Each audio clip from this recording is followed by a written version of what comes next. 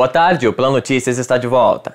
A partir desta terça-feira, o PSF Santo André, que fica na Rua Esperança, no número 80, não terá atendimento ao público porque vai ser transferido para a Rua 7 de Setembro, na esquina com a Rua Nova Angélica. Devido à logística da mudança, não haverá atendimento nesta terça.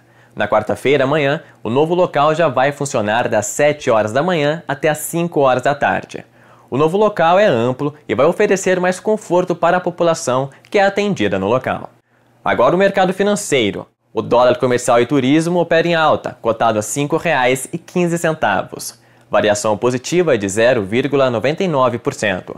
O euro também opera em alta, cotado a R$ 5,80. Variação positiva de 1,68%. A segunda edição do Plano Notícias de hoje fica por aqui. Outras informações você confere durante a nossa programação e pelas redes sociais da TV Plan.